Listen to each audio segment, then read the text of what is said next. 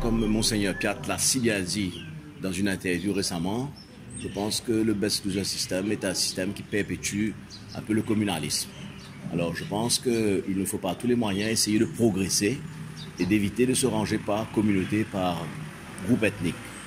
Alors je pense que tous les efforts qui sont faits pour essayer d'avoir une meilleure représentation mauricienne, tous les efforts qui sont faits pour créer dans l'esprit des personnes la citoyenneté mauricienne, c'est excellent et il faut continuer.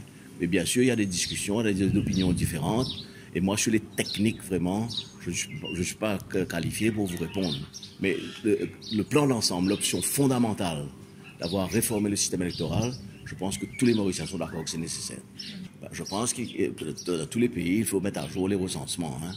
parce que dans la grande discussion, c'est de savoir si dans le recensement, il y aura euh, il faut déclarer sa religion, son groupe ethnique. Alors ça, c'est un problème qui doit être posé au niveau de l'État.